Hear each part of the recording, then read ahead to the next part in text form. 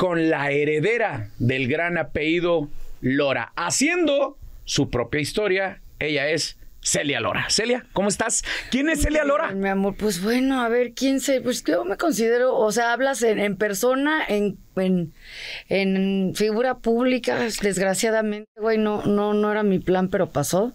Entonces, bueno, yo me considero, porque no me, yo no me considero famosa, güey, nunca me he visto así, pero pero desgraciadamente soy. Es difícil. Por default, no fue mi plan. Pero eh, qué bueno que mencionas eso. ¿Es difícil o más fácil llevar el apellido Lora? ¿Cómo? ¿Cómo? Pues no sé, o sea, creo que sin duda alguna es uno de los apellidos dentro de la industria musical que pesa de y que tiene un, un, gran una gran relevancia. Si estamos hablando de los Lora, es que lo tienes que anunciar en marquesinas y con letras doradas. ¿Es difícil ser Lora? Pues no, a mí no sé. O sea, a veces sí. Y no, no lo siento. Pues es que no conozco otra vida. Entonces realmente yo ya nací, ya era así el numerito y así me tocó completamente. Entonces. Oye, hablando de eso, ¿por qué no te dedicaste a la música? Por lo mismo. Porque no quería ser famoso. Pero sí tenías la inquietud de morrita, ¿no? funcionó. ¿Qué? O sea, sí tenías la inquietud en algún momento de hacer tus cosas. Sí, pero realmente mi papá ha vivido este para la gente y para trabajar.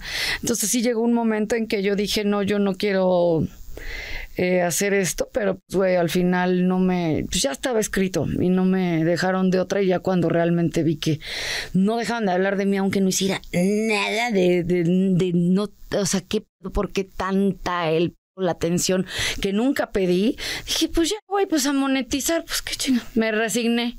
Pero hablando de eso, ¿cómo eras de morrita? O sea, ¿cómo eras de chavita? ¿Eras de Sí. ¿Eras caprichuda en los colegios? ¿Hasta qué edad o hasta qué eh, llegaste en la escuela? Platícanos un poco de eso, Celia.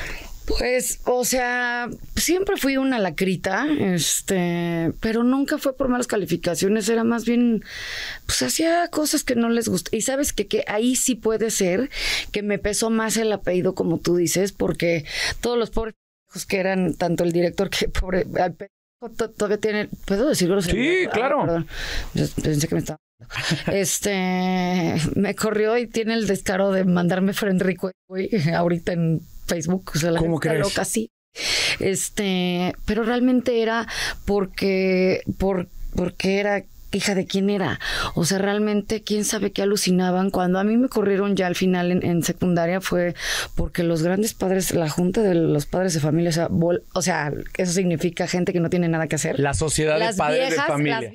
que no tienen nada que hacer, este, habían hecho una junta para decir que yo era mala influencia para Entonces me corrieron.